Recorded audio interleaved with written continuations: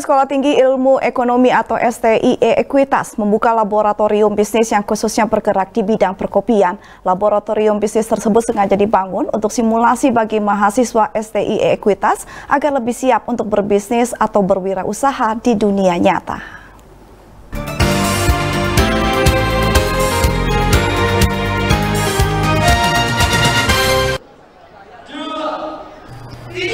Karena memiliki salah satu visi kuat di bidang keuangan, perbankan, dan kewirausahaan, STIE Ekuitas membuat laboratorium bisnis di kawasan kampusnya.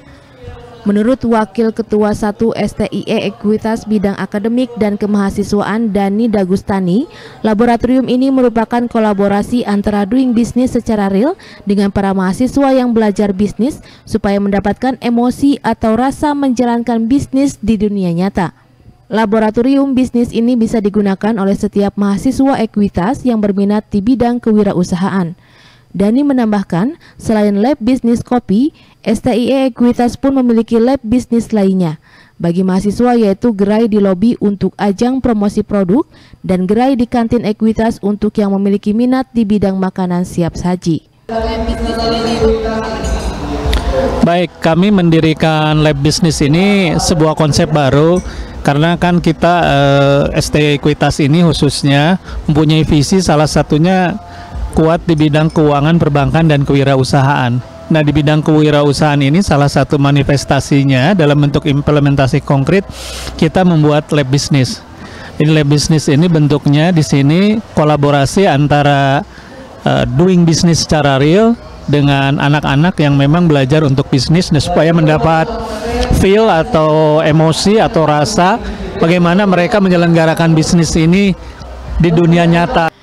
Sementara itu menurut Ketua STIE Ekuitas Marta Fani Cahyandito, lab bisnis sebenarnya sudah ada sejak dua tahun lalu. Tapi lab bisnis pertama sudah habis periodenya. Di lab bisnis kali ini, mahasiswa tidak hanya mengenal teknis kopi, tapi juga seluruh manajemen perkopian dari hulu sampai hilir. Hal tersebut agar mahasiswa sesuai dengan tagline STIE Ekuitas yaitu lebih tahu pendidikan keuangan, perbankan, dan kewirausahaan. Mahasiswa akan terjun ke lapangan langsung tidak hanya di lab bisnis tapi juga ke perkebunan kopi. Selain itu ada juga workshop kopi dan training kewirausahaan terkait manajemen kopi bekerja sama dengan Kadin Jabar dan HIPMI. Alhamdulillah kita saat ini membuka kembali laboratorium bisnis kita untuk kedua kalinya setelah yang pertama habis uh, periodenya uh, sudah memberikan sharing input-input tentang bisnis kepada ST Ekuitas. Sekarang kita buka uh, batch 2-nya untuk lab bisnis.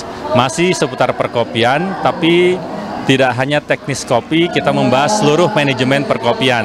Jadi seluruh mata rantai supply chain-nya kita bahas, pemasarannya, keuangannya, operasionalnya, dari hulu sampai hilir akan kita bahas. Jadi seluruh mahasiswa ekuitas sesuai tagline kami lebih tahu pendidikan keuangan, perbankan dan kewirausahaan. Sisi kewirausahaan akan dikenalkan kepada seluruh mahasiswa ST Ekuitas dengan adanya lab bisnis ini.